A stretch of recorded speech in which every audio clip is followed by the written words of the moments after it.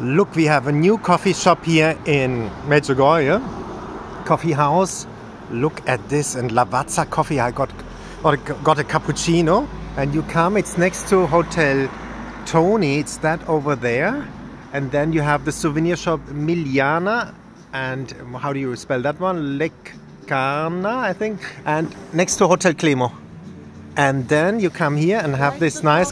Yes, I love it. It's the best and then you come here and have coffee. And this nice lady that's the nice lady. You. are welcome. Ciao. And then you go here and you have a nice coffee. I have to try it out now. Let's me let me see how it tastes. Okay i go very fast. Oh a man can't do two things at the same time you know. Mmm you heard it. The short mm, the mmm fantastic. Mm. so come here next to hotel Clemo, okay